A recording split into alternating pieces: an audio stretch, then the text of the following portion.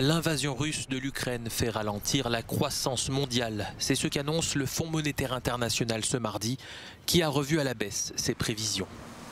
Le FMI estime qu'un nouveau durcissement des sanctions contre la Russie, couplé à une dégradation de la confiance des consommateurs et à une volatilité des marchés, pourrait faire davantage ralentir la croissance mondiale. Par rapport à nos prévisions de janvier, nous avons revu à la baisse notre projection de croissance mondiale à 3,6% en 2022 et 2023. Cela reflète l'impact direct de la guerre en Ukraine et des sanctions contre la Russie, les deux pays devant connaître de fortes contractions. La guerre en Ukraine a des effets semblables à des ondes sismiques, analyse le FMI, avec des retombées internationales, car l'Ukraine et la Russie sont d'importants producteurs de céréales, mais aussi d'énergie. Dans la zone euro, l'activité économique ralentit également avec des prévisions de 2,8% de croissance contre 3,9% en janvier. La bataille du Donbass a commencé. Les forces russes ont entamé une nouvelle phase d'opération offensive à grande échelle dans l'est de l'Ukraine, probablement destinée à conquérir l'ensemble des régions de Donetsk et Luhansk. Selon l'Ukraine, les forces russes attaquent maintenant les positions ukrainiennes sur toute la ligne de front de 480 km dans cette région clé. Dans son dernier briefing, le ministère russe de la Défense indique que les tirs de missiles et l'artillerie ont frappé plus de 1200 cibles en Ukraine pendant la nuit. Parmi les endroits lourdement bombardés se trouve Kharkiv. Ici, les forces ukrainiennes ont poursuivi une contre-attaque réussie au sud-est de la ville, prenant plusieurs petites localités. Selon l'Institut pour l'étude de la guerre, cette offensive ukrainienne obligera probablement les forces russes à détourner une partie de la puissance de combat destinée à l'axe d'Izoum qui est au point mort. Les troupes russes auraient capturé la ville de Kremina. Selon l'Institut pour l'étude de la guerre, il est peu probable que ces offensives soient beaucoup plus réussies que les opérations ratée autour de Kiev. Et maintenant, dans le Donbass, lorsque les autorités russes parlent du Donbass, elles désignent l'intégralité de deux grandes régions orientales, Louhansk et Donetsk. Au début de la guerre, près des deux tiers des régions orientales étaient aux mains des Ukrainiens. Le reste était dirigé par des séparatistes soutenus par la Russie depuis 2014. Toute la région du Donbass s'étend de la frontière nord jusqu'à la périphérie de Mariupol, au sud, où les forces russes ont poursuivi leurs assauts contre les combattants ukrainiens dans l'usine d'Azovstal. Des dizaines de milliers de civils sont toujours à Mariupol et ne peuvent être évacués. L'Ukraine affirme qu'il n'y aura pas de couloirs humanitaires pour les civils piégés dans les zones de conflit pour la troisième journée consécutive, car il n'y a pas eu d'accord avec la Russie. Les gouvernements régionaux exhortent les gens à évacuer les zones s'ils le peuvent, et là où cela est encore possible.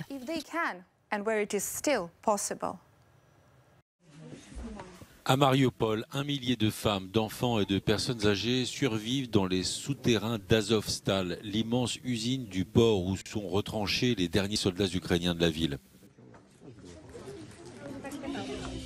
Les Nations Unies appellent Moscou et Kiev à mettre en place un cessez-le-feu pour permettre à un convoi humanitaire d'atteindre les populations civiles ukrainiennes.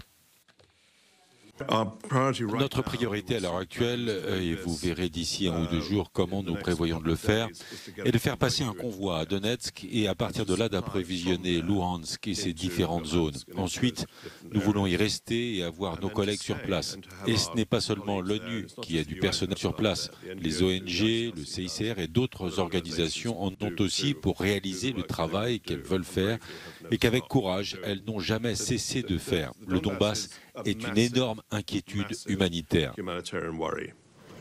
Selon les Nations Unies, 136 centres de soins ukrainiens ont été la cible de frappes depuis le début de l'invasion de l'Ukraine par la Russie. Ces attaques ont fait au moins 73 morts, des dizaines de blessés et réduisent les possibilités de prise en charge médicale.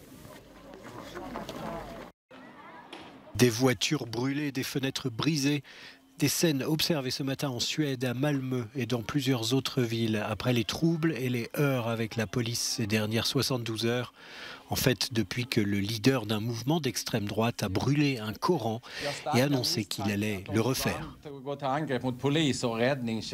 Nous pensons que ceux qui attaquent la police et les services d'urgence sont liés à des bandes criminelles qui ne reculent pas devant une violence armée et aveugle. Il s'agit d'une violence grave contre la police, contre la société et non d'une volonté de défendre ses convictions. Cela n'a rien à voir avec les protestations, mais constitue une attaque indéfendable contre notre démocratie. Selon la police suédoise, environ 200 personnes ont pris part aux émeutes qui ont eu lieu dans plusieurs villes. Rien qu'à Linköping et Norrköping, 26 arrestations ont été effectuées et autant de personnels d'urgence ont été blessés. Une croissance économique plus élevée rime forcément avec l'éducation des filles. Ce sont les mots de la directrice générale du FMI qui soutient le combat de la militante pakistanaise des droits des femmes et prix Nobel de la paix, Malala Yousafzai. Nous avons calculé que si les femmes ont le même accès au marché du travail que les hommes, le PIB des États-Unis serait supérieur de 5%, celui du Japon de 9%, celui de l'Inde de 27% et celui de l'Égypte de 34%.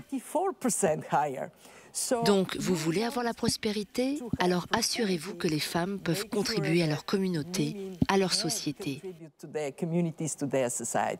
Devenue un symbole international de la lutte pour l'éducation des filles, la jeune militante exhorte les nations développées à poursuivre et à augmenter le financement de l'éducation des filles.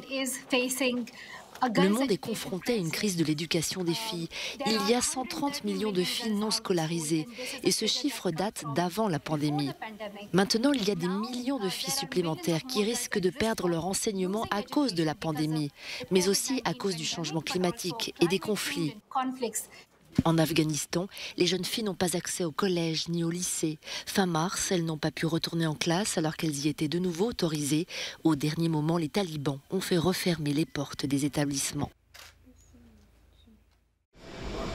La fin du port du masque dans les transports publics aux États-Unis. La magistrate Catherine Kimball Misel a estimé que l'agence sanitaire fédérale américaine avait outrepassé ses prérogatives.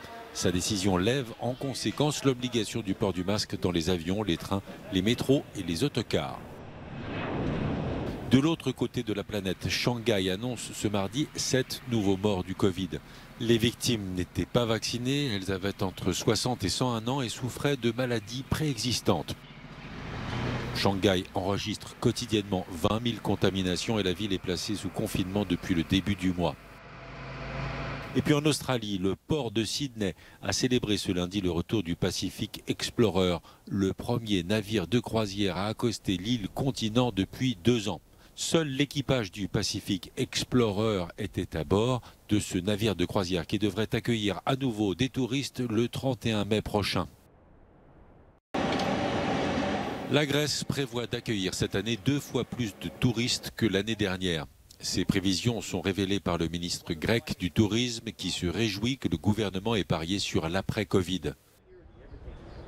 Depuis février dernier, les tests de dépistage ne sont plus nécessaires pour les Européens vaccinés. À partir du 1er mai, le pass sanitaire ne sera plus qu'un mauvais souvenir.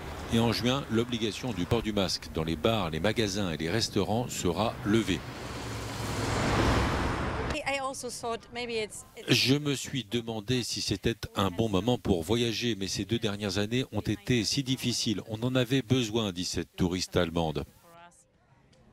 Nous étions très soucieux pour les Ukrainiens, mais nous avions besoin de faire quelque chose de spécial pour nous.